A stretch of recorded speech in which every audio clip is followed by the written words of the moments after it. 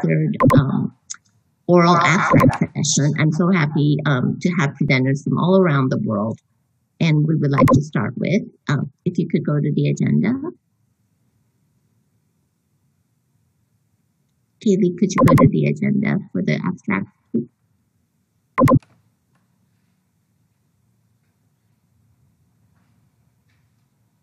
Thank you.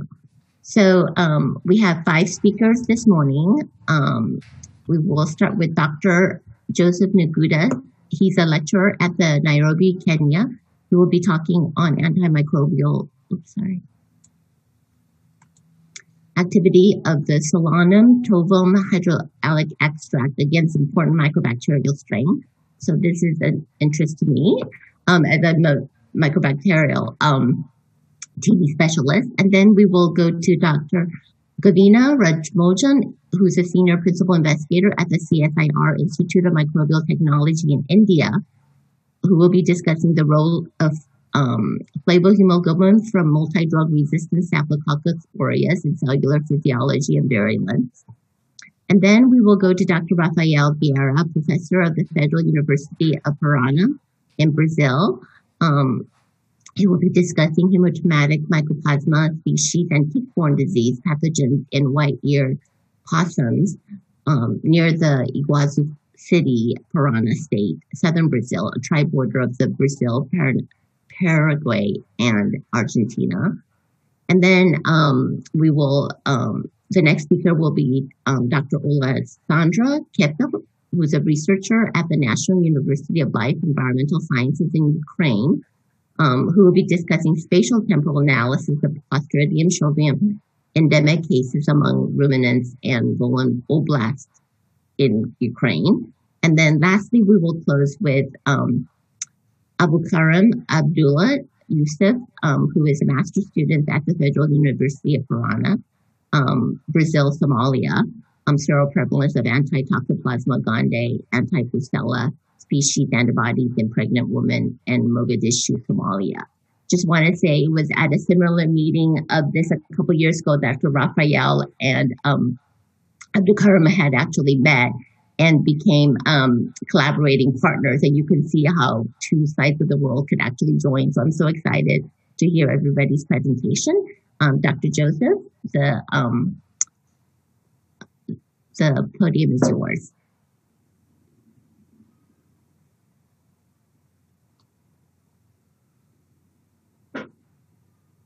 If you could share your slide. Kaylee, do you have to stop sharing your screen? Uh, no, Dr. Joseph is not on the session. Okay. Do we have next speaker, Dr. Govina?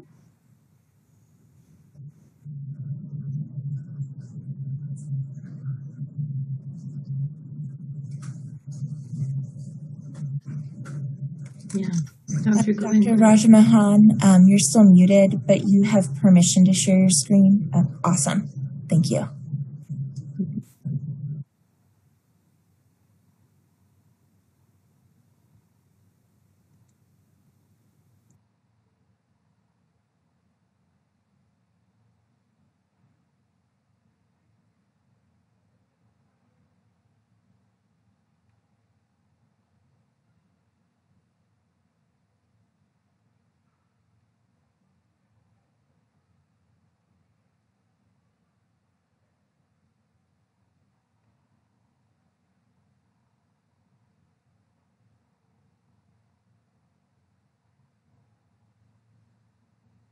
Sorry, are you, we're not able to see anything?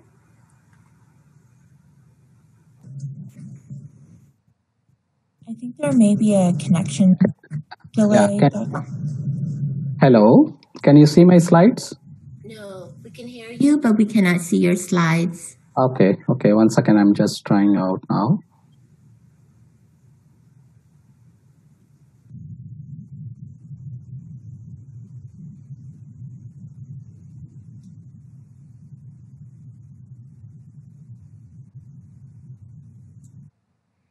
Perfect, we can see your slides. Please proceed. Yeah, uh, yeah. Can, can I go ahead with this or I need to uh, basically uh, increase the slide size or can you see? Yeah, if you could hit this, the Yeah. increase it, like do the slide share. Okay, okay. I'll, I'll do it once again.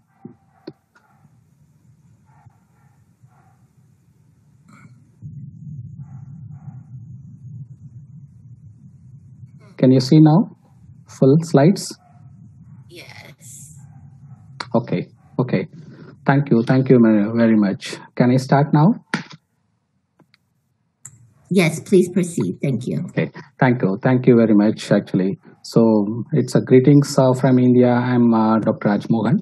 So um, uh, my topic uh, today I'll be discussing about the role of uh, flavohemoglobin from multi-drug resistant Staphylococcus aureus in cellular physiology and uh, virulence actually. So basically, I'm uh, situated in India. It's um, an Institute of uh, Microbial Technology. It is a government of India institutions. So let's see about the work which we have done over the past many years. If you see the background and um, the importance, so like you know, you know, human beings are very much uh, familiar with uh, everybody. It's a hemoglobin. We, we know it is a very ancient hemoproteins, widely distributed in all five kingdoms of life. They all have ability for uh, to bind molecular oxygen reversibly and other gaseous ligands such as nitrous oxide and carbon monoxide. So, like say, like 50 years back, uh, Professor Dale Webster from Illinois Institute of Technology discovered the first hemoglobin in bacteria. That's uh, surprisingly uh, initially was identified as a cytochrome uh, O, but later they identified it is uh, purely uh, hemoglobin from uh, bacteria. So it, the bacteria which they identified a hemoglobin is Vitrosella hemoglobin belongs to gram-negative bacteria. So from then onwards, a lot of research is being um, on interesting results are started because bacteria also having a hemoglobin like a human hemoglobins. So if you see the bacterial uh, hemoglobins are broadly uh, classified into three uh, different groups. Single domain hemoglobins, um, that is the one which was identified initially by Dr. Uh, Dale Webster. And uh, later they identified also double uh, domain hemoglobins. And very recently in last decade, they identified a new type of hemoglobin group is called truncated hemoglobins. So today I'll be talking much about uh, these double domain hemoglobins. So what are these? These are nothing but two domain hemoglobin. That it has uh, two domains. One is globin and is other is reductase domain, where the heme is uh, basically the heme domain is linked with different reductase or sensory domains. So like these uh, domains, uh, like you know, these hemoglobins are uh, widely present in the different kingdoms, as I said before, and a lot of microbes also harboring such hemoglobins. Um, and uh, even though they have a same protein uh, globin fold, they have diverse uh, functions. You can see the functions of these hemoglobins are identified in different bacteria, uh, range from typically the oxygen transfer and storage is the primary function. And besides that, we can see various functions um, in literature. You can see broadly on different stress response um, challenges. You can see the, these ba bacterial hemoglobins play a major role. So besides like you know on uh, because of a lot of genome sequences available you can uh, easily see it from the genome sequence uh, analysis. A lot of uh, bacteria either from um, uh, different uh, groups like gram positives or negatives you can see more than one or two Uh, hemoglobins that belongs to either single domain or uh, mostly double domains will be there and uh, either single or mm-hmm. truncated hemoglobins will be there in some bacteria. So most of the bacteria harboring more than one hemoglobins. Uh, so nobody know those times like uh, what is the role of these uh, hemoglobins because these are pretty much conserved in most of the bacteria and that's what uh, like know people started asking questions. So what is the role of these hemoglobins in these bacteria uh, besides um, uh, oxygen transfer or storage purposes?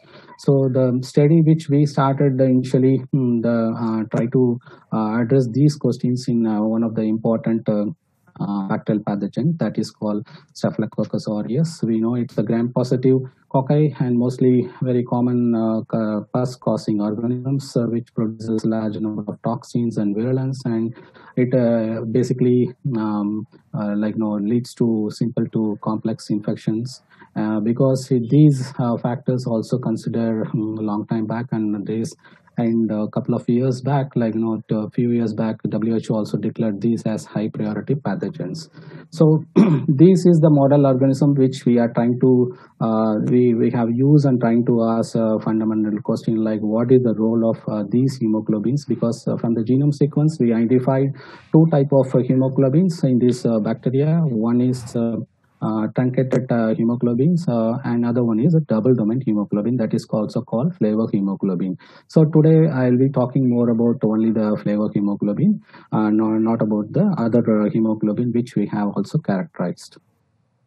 So the methods uh, uh, which you can see is basically we have used the standard uh, bioinformatic analysis and also the um, um, like you know standard molecular biology techniques like a cloning expression and we have done a biochemical characterization to uh, find out whether this uh, gene is really a hemoglobin or not and uh, try to understand the regulatory aspect of this gene in the native host.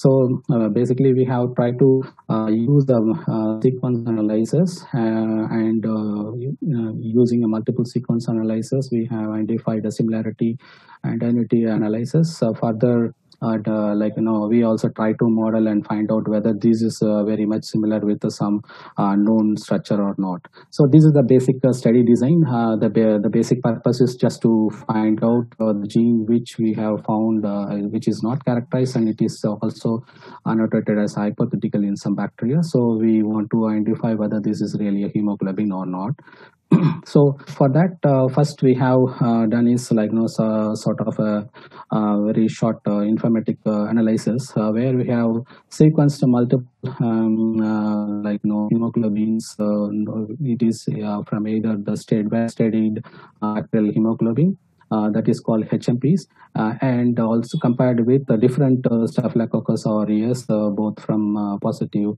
like both like you know uh, pathogenic and non-pathogenic uh, group of uh, staph aureus. So primarily you can um, um, now you can see like these HMP that is a flavohemoglobin uh, known to have a two domain. One is a globin other is a reductase. Both FAD or NAD binding uh, site will be there. These are pretty much conserved in all the sequences which is well conserved and conservation is more than 60% uh, compared to other bacterial groups.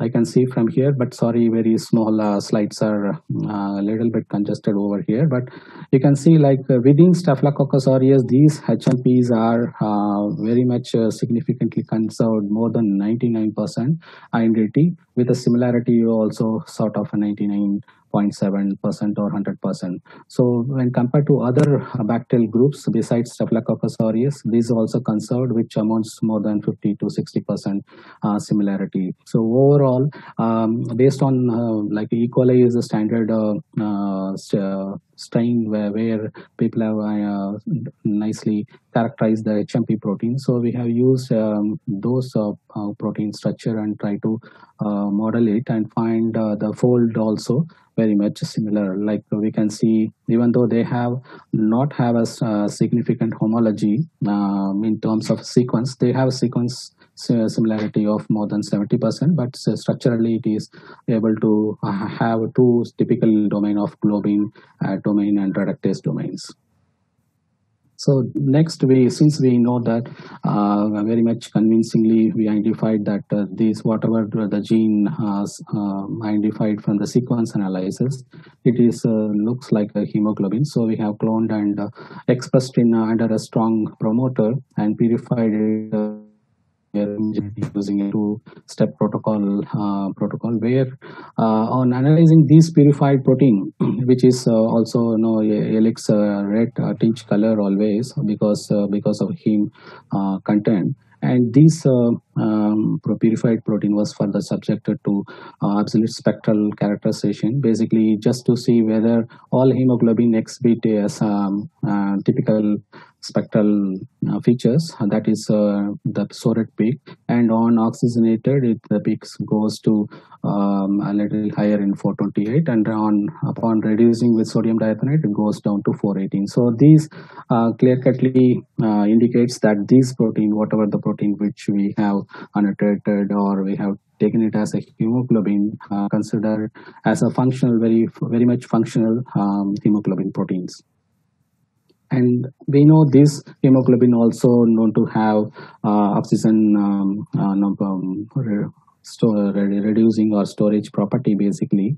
So that's what we are with these uh, hemoglobin the cells harboring uh, the hemoglobin gene that is hmp confer advantage to the uh, e coli cells because we have cloned it in e. coli in the heterologous host. So using uh, both the conditions high aeration or low aeration in either of these cases you can see in the graph that is the Uh, dotted uh, unfilled uh, uh, inverted triangle, which basically it uh, belongs to Staphylococcus hemoglobin, which is cloned in E. coli compared to the E. coli hemoglobin, and we have a vector control over here. So based on these graphs, you can see it's it is not a very significant advantage is giving to the else. At least we can say like more than one fold like 1 to 1.5 precisely 1.5 fold um, uh, the advantage uh, growth advantage gives to the uh, basically.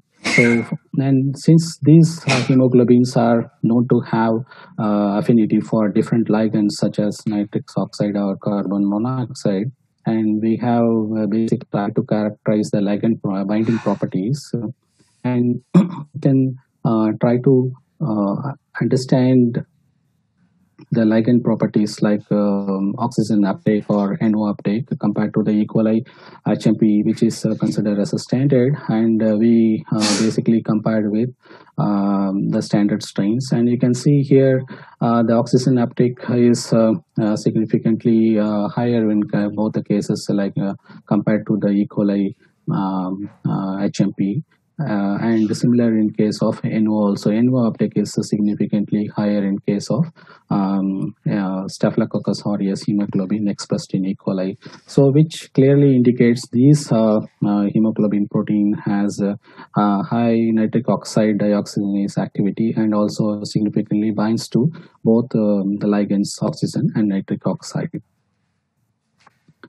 So these are the some of uh, further we asked whether these uh, strains are uh, basically uh, like no we exposed to nitric oxide. Uh, so because you, you can um, like you know staph aureus generally uh, encounter both oxidative or nitrostatic stress during a host pathogen interactions. So that's what the purpose is just to since it is able to bind nitric oxide efficiently the primary function of hemoglobin, uh, flavohemoglobin, is uh, known to have nitric oxide dioxygenase activity. Uh, so we asked whether these um, uh, E. coli cells, which is expressing Staphylococcus aureus hemoglobin, flavohemoglobin, able to protect uh, the E. coli cells against nitrostatic stress. So the NO donor which we have used is sodium nitroprusside, SNP. So you can see in this graph the different concentrations of SNP we have used and uh, we try to score the uh, survival of the cells and you can see on increasing the concentration of SNP um, the compared to the uh, vector control PBS then uh, both E. coli and uh, Staphylococcus flavohemoglobin. E. coli we have taken as a control and this is a Staphylococcus uh, hemoglobin able to uh, basically protect the cells from uh, killing of nitric oxide uh, that is uh, SNP. So further, since we clear cutly able to see um, these uh, flavoglobin, uh, hemoglobin able to confer uh, resistant to nitrostatic stress. And further, we want to uh, really check it within a different host, uh, like we have used here Salmonella uh, typhimurium cells, where the HMP gene was knocked out. So basically, this is a, a null mutant HMP null mutant of salmonella cells, where we try to express our, we have expressed our Staphylococcus hemoglobin inside this um, host and try to ask the similar questions. But here we have used nitrate uh, basically uh, substrate. Like you know what happens is like you know if you under low ph conditions this protonation of nitrate leads to toxic nitrogen products. That is a different reactive nitrogen species uh, it will release into the medium. So that's what like basically we, try to S7 and uh, this is uh, along with the different concentration we have used a vector control as a PBS and we have used strains uh, which is expressing hemo flavor hemoglobin and also the staph uh, hemoglobin basically in a staphyla in salmonella uh, typhimurium cell basically the background is salmonella cells where these uh, proteins are expressed inside so if you see, in, uh, we have used both 10 and uh, 30 millimolar nitrate uh, sodium nitrate and uh, both the cases in both the pH. In both the cases, if you see like in case of uh, pH 6, you can see like uh, the Staph aureus HMP is only here and when you, once you add uh, different concentrations of HMPs like 10 millimolar, 30 millimolar, 30 millimolar, you can see uh, even then it is not um, significantly uh, killing the cells when compared to the control. This is the control where the uh, PBS uh, vector control. You can see on uh, adding a 30 millimolar nitrite, mm, it is uh, a significant fold. Uh, it is basically protecting the cells by the staph HMP. So this one phenomenon is not occurred in the pH 7 which is a very known phenomenon here. So therefore, we can conclude this, uh, the staff HMP not only confers uh, uh, um, nitrostatic stress, not only confers the cells against nitrostatic stress in E. coli, but also in Salmonella typhimurium. So because we know this staph aureus uh, doesn't have any uh, like so far whatever the bacterial um, uh, flavor hemoglobin uh, genetic regulation was studied and we found that all the bacteria will be having a typical uh, like a repressor protein. Is a global repressor protein will be there. That uh, global repressor protein was not found specifically in staphylococcus aureus because these flavor hemoglobin needs to be tightly regulated in the bacteria so that's what like we want to see whether at what phases of growth is being um, produced more. So we try to uh, map it with uh, rt-pcr and find uh, found that it is uh, largely expressed more in a stationary phase and exponential phase when compared to the lag uh, phase of a growth. So since uh, the Staphylococcus aureus also doesn't have a, uh, like a typical repression uh, global repressor, which is called NSSR, uh, very specifically repressed uh, by the hemochlorine.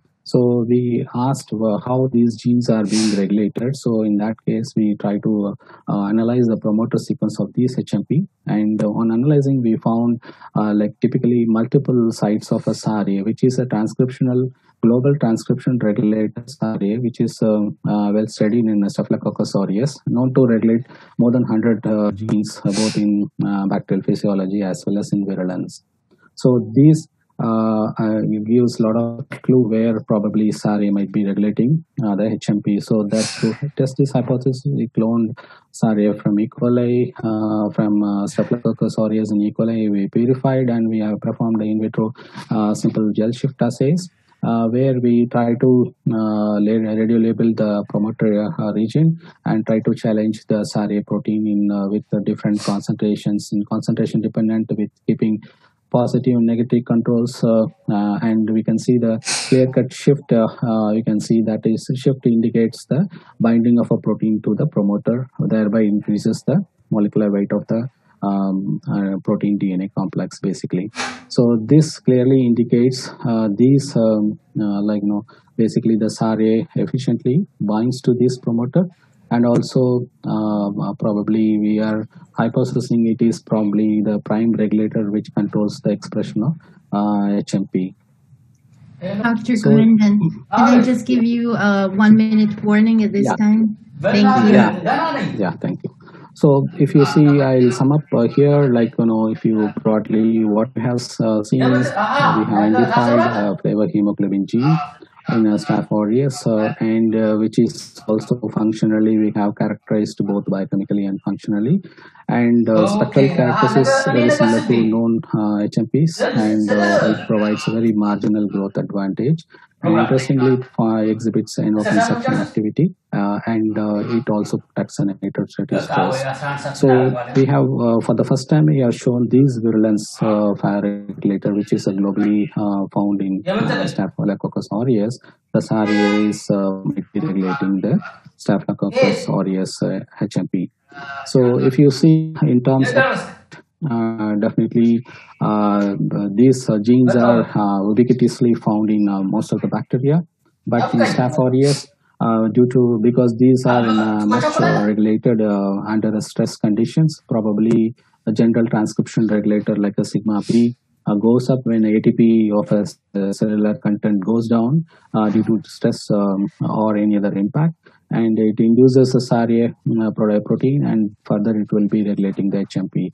So probably this uh, HMP uh, might be regulating as a central uh, hub for you know, nitrostratus stress uh, regulator.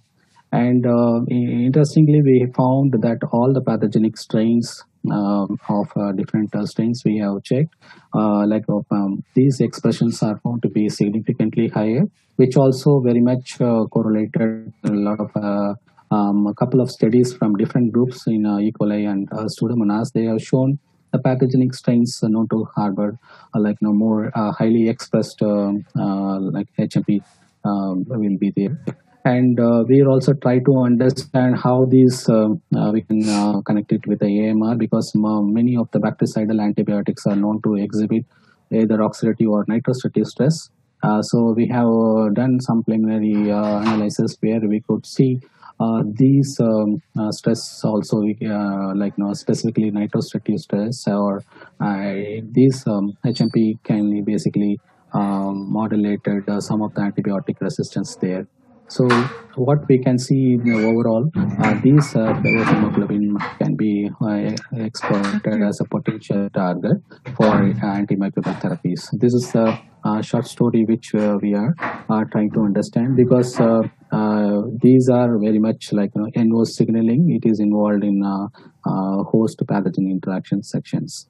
So with this, I will try to fin finally finish up here. I would like to thank the whole organizer for the conference as well as the Global One Health initiative from Ohio State University for this opportunity uh, and also I like to thank uh, the director of our institute and also the, uh, my advisors, Dr. Professor uh, Kanak Lada Dikshit as well as Dr. Ina Gupta. Thank you very much for your patient hearing.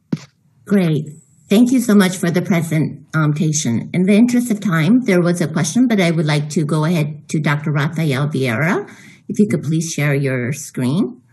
Okay, yeah. If you could unshare your screen, Dr. Majan, we'll, we'll go to the next speaker. There is a question in the box, but we will come back to it at the end. Okay, okay. Thank you. Dr. Raphael, the floor is yours. Uh, thank you, Dr. Wang. Uh, can you see my slides? Yes. Okay, uh, good morning, everyone. Uh, my name is Rafael Vieira. I'm a, a federal, uh, a faculty at the Federal University of Paraná.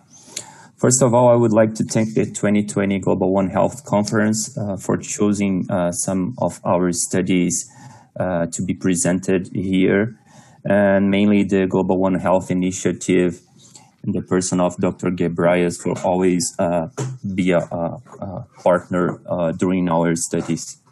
So the study I would like to present today is entitled Hemotropic Mycoplasma Species and Tick-Borne Disease Pathogens in White-Eared uh, Opossums from Iguazu Falls, uh, southern Brazil, which is a three-border area uh, between Brazil, Paraguay, and Argentina.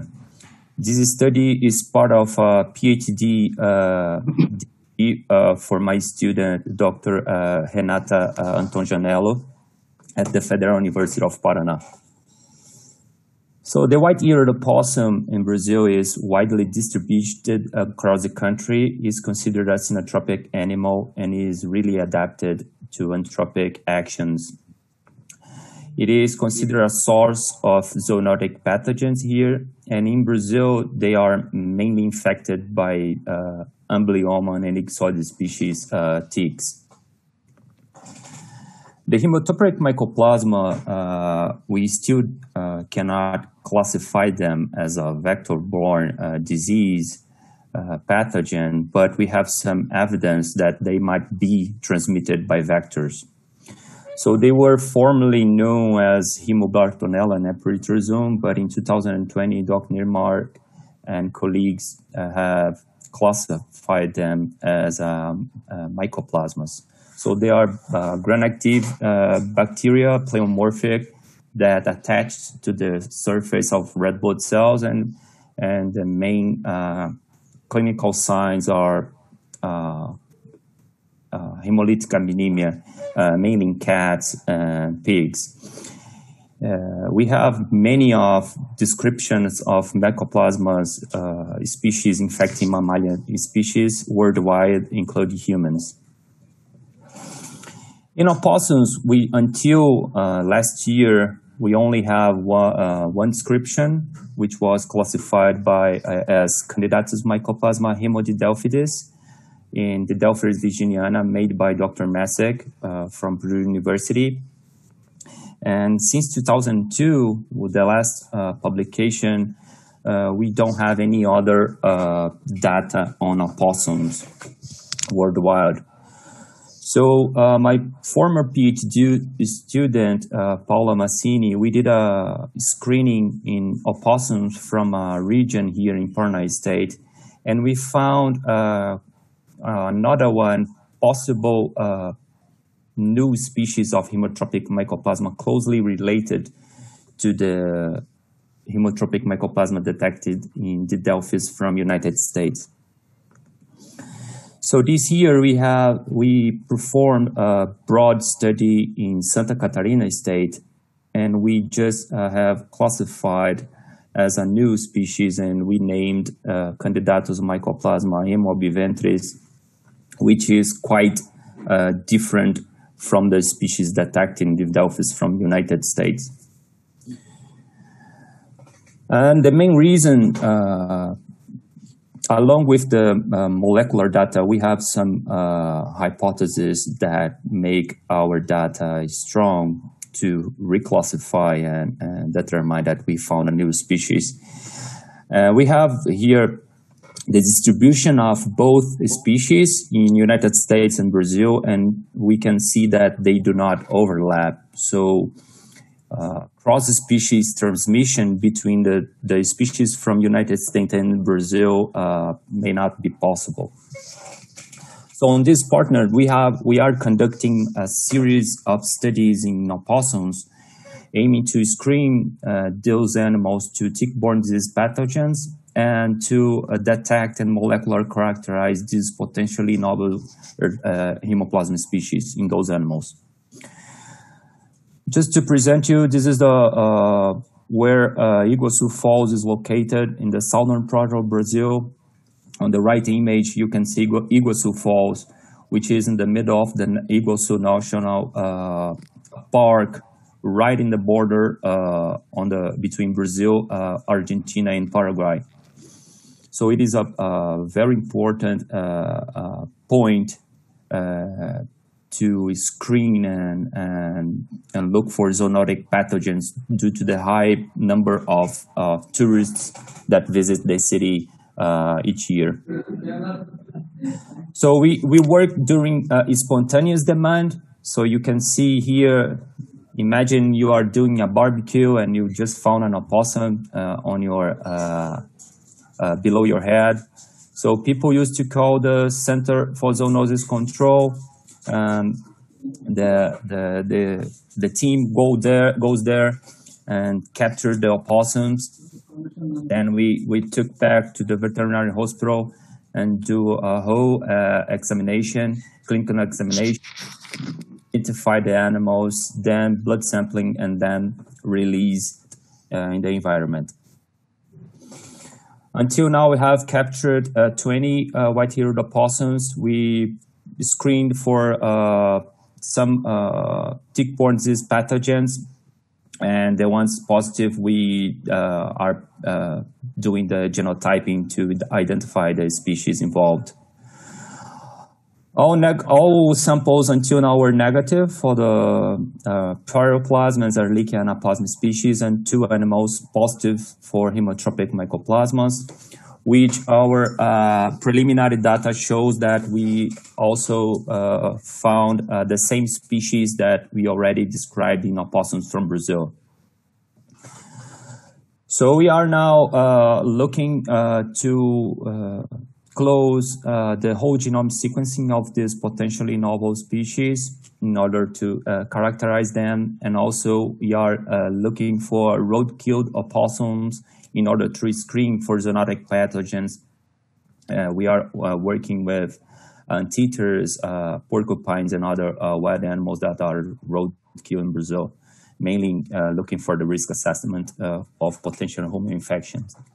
I would like to thank again all the partners, uh, my PhD student Renata, uh, for the the hard work until here, and the and the, and the team from the Zo uh, Centers for uh, Zoonotic Disease in Iguazu Falls.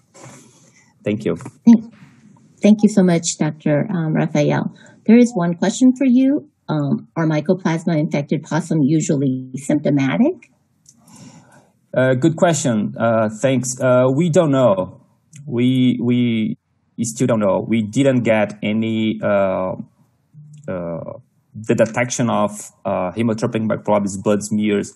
The opossums is quite is quite strong. Let's say that there are some studies even with experimental infection with rickettsia rickettsii, which is the causative mm -hmm uh, Brazilian spotted fever, and they do not show clinical signs. So I don't that might might cause anything on, on those guys. Thank you. Um, we're going to go to other. That we will come back to the. Um, oh, there's one additional question. Which samples are used for whole genome sequencing? Uh, spleen. Excellent. Yeah one of my questions was how did you capture the possum to get the blood? But in the interest of time, we'll go on to the next speaker. And then if there's a question for Dr. Rafael, as well as um, Dr. Rabna Jahava, please um, enter them into the question and we will try to retrieve. Dr. Ola Cassandra, the um, podium is yours. If you could share your slides, please.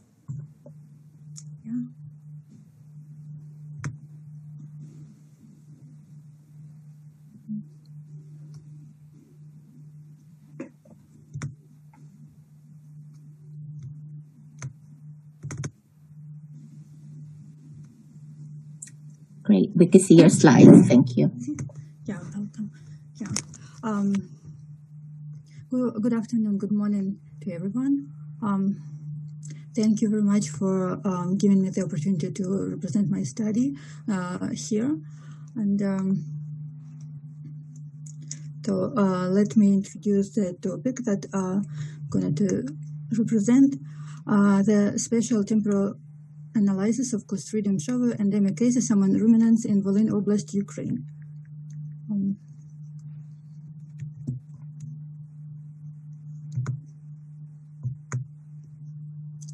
um, analysis of publication of molecular genetic studies of the emphysematosis carbunculus causative agent Clostridium shower gives us a reason to attribute um, black-leg diseases to dangerous zoonosis that occurs animals and humans. Uh, the antigenic and genetic affinity of the pathogen strains related from territories of different con continents of the world indicates that its evolution as a pathogen occurred simultaneously on all continents. Evidently, uh, all continents uh, have similar conditions that have um, impact on the survival, spreading, and formation of the parasitic form of Clostridium shower. Uh, the purpose of our work uh, was to conduct a special geographical analysis of black-leg outbreaks in Ukraine in order to identify patterns of disadvantage of individual territories in relation to these infections. Um, we used um, the veterinary statistics. Um, the data were uh, statistically processed and mapped to natural and geographical factors of the oblast. Um, slash regions based on this. Let me represent the result. Dr. Alexandra, could you make the screen full screen, please, um, if possible? Yes, yes. Uh, I'm, I'm trying. The button at the bottom right. Yeah. The, oh, no, over a little bit more. Sorry. Um, next to the 100%, there's like a full screen signal. If you could click that over, over to the left, to the left, right, over to the right, right there. Yep. Okay. Thank you so much. Okay, well, welcome. Thank, uh, I'm, I'm sorry. I, I apologize. Um, uh, so uh, data from retrospective studies indicate that Ukraine is permanently affected by this infection. Uh, the analysis of veterinary data uh, shows that the most complete statistical information of black legs in Ukraine has existed since 1971. Uh, so figure one indicates the existence of long-lasting episodic process of black leg in the country. Uh, the activity of the process has a temporal uh, unevenness uh, to both the detection of affected farms and to diagnosing, clinical disease in animals. Uh, at the same time, the trends in the defection, detection of both sick, animal, sick animals and outbreaks of infections tend to a sustainable decrease. A number of reasons can explain that. Uh, firstly, uh, the sharp decline in the number of livestock in Ukraine since the beginning of the 90s. Uh, for instance, uh, by the end of um, 1971, uh, the number of cattle was 21.4 millions. in 1991, um, it declined to 24. Um, uh, um, it increased uh, till 24.6 um, uh, at the end of 2002 years. it's been um, 9.4 million. And uh, secondly, there was a significant increase uh, in the use of specific black leg uh, vaccine in affected areas. That is, implementation of specific preventive measures. For example, the number of vaccinations of cattle in the Volyn region, Kyiv region, and Lviv uh, region from um, 49.6 thousand in 1971 uh, increased uh, to 220,000 um, in um, 1985. Uh, however, uh, in the future, the active of cattle dropped uh, sharply, and the early um, 2000s was practically stopped, which accordingly reflected the clinical manifestation of infection with a high peak in incidence in 2005 and 2007. Um, uh, in uh, episodic index is the ratio of the number of years during which the infection was recorded in the territory to the number of years um, during which the surveillance was conducted. The mentioned administrative territories can be divided into three groups. Uh, the first group includes areas with um, episodic index, uh, indices uh, 0, um, 0.12, um, uh, 0.37. Uh, it includes Kyiv, uh, Transcarpathian, Zaporizhia, and Kherson. Uh, this. Uh, uh, Cherkasy, uh, Sumy, and Poltava regions. Uh, to the second, with uh, um, uh, episodic indices numbers um, that um, mean uh, 0.38 uh, till 0.62, which includes the Kirovograd region, Lugansk, and Mykolaiv, um, the Crimea, Vinnytsia, Ivano-Frankivsk, Khmelnytsky region, and Zhytomyr. Uh, the most intense episodic situation of this indicator was observed in the third group. Uh, it's uh, Donetsk, Chernobyl, Odessa, uh, Chernivtsi, Lviv, uh, Dnipropetrovsk, uh, Volyn regions, with, where um, episodic indices um, reach 0.68. also, um, that includes regions like Rivne and Kharkiv with periodic indices 0.8 and 0.88 respectively. Um, the average incidence rate for the uh, Clostridium shower in Ukraine during the study period was 4,35 uh, per uh, 10 uh, 100,000 population. Um, it was the highest in uh, Chernivtsi, um, um, Rivne, Lviv, Sumy, Ternopil, Zhytomyr, Chernihiv, Kharkiv, and Donetsk regions. Um, the day, death rate for the um, Clostridium uh, in Ukraine is closely correlated with the incidence rate um, 0.9, uh, and the average death rate is um, 1464 per um, 100,000 population. Mortality, um, here is an indicator that characterizes the severity of this disease. Uh, its average value for Ukraine, uh, 79%.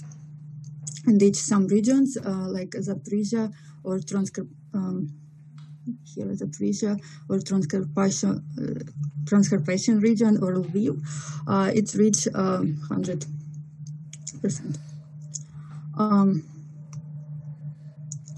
there were the uh, Clostridium shave uh, clusters in uh, every analyzed area, uh, but uh, we chose to, analyze Volyn Oblast because um, the most specific territorial zones were in the Volyn Oblast, where we identified seven disadvantaged areas. they are usually located in river basins and reclamation systems. In particular, Volodymyr Volyn, um, um, whereas this Lupa River, Luga and Sino Rika rivers, Khrokhivsky um, district, Kovelsky and Turisky um, districts near the Turi and Stokhod rivers and reclamation and drainage system located between them. Um, also, uh, Manvitsky with the Styr River, uh, Reshinsky, uh, Rosa River, and Batikap and Stokhod rivers, and uh, Kashir, Kashirsky, uh, which includes the Sir rivers. Uh, Clostridia shave cases are clustered within certain geographic areas, uh, which might be due to soil type and water permeability. Um, position of a map uh, of disadvantageous um, points on the uh, area shows that the intensity of the episodic process has the depth of aquifers, uh, the closer they are uh, to the surface, the higher, higher the probability of outbreaks of infections. Uh, with the displacement of the soil and the destructions of the surface of natural meadow pastures or high fields. The intensive melioration played an important role in surrounding and uh, in some years increasing tension of the episodic process. For example, in early um, 1970s and uh, the middle of 80s years. Uh, for example, in Volyn Oblast, uh, which we analyzed here, uh, the largest amount of meliorated land was observed um, till um, 62.6 uh, um, thousand hectares in 1980s. Uh, in subsequent areas, the meliorated area started to decrease, and within the 90s, almost fully descended. A similar dynamic of meliorated areas was in all regions of Ukraine. Um, other scientists um, also reported the similar close correlative connections between excavation work and increased black leg incidents. Uh, in conclusion, uh, I would love to say that uh, natural and geographical, ge geological and geographical factors um, play crucial role in shaping endemic plague, plague um, cases which clustered in the certain geographical areas. Uh, so thank you for your attention. I wanted to Thank you so much, Dr. Thank you, Dr. Cassandra. That was very interesting. What is your next step? Um, uh, the next step, uh, we are going to analyze the uh, soils in a, a deeper uh, level and um, probably um, analyze the correlation between the soul, uh, souls and the like land covering and uh, cases of uh, Clostridium shave in, in, in the whole Ukraine, not only in Volyn Oblast, but in, in whole Ukraine. Great. In case if we will uh, have a statistic data. Thank you. If you have other questions, please type them into the Q&A box for Dr. Cassandra. If we can go to our last speaker, um, Dr. Yusuf, the podium is yours. Dr. Cassandra, if you can then share your screen. Thank you. Oh, thank you for your attention. Thank you so much. Oh, can you unshare yours? Okay. Oh, oh, yep. Thank you. Dr. Yusuf?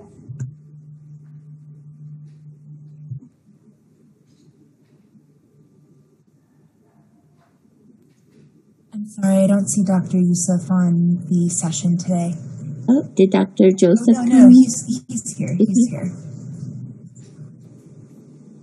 While Dr. Yusuf is setting up, maybe we can go back to one question for Dr. Um, Govinda. Um, the question was, in the SNP experiment, did you see a statistical significance difference between survival between E. coli and Staph aureus? Yeah, that we don't see much of um, a significant difference. Basically,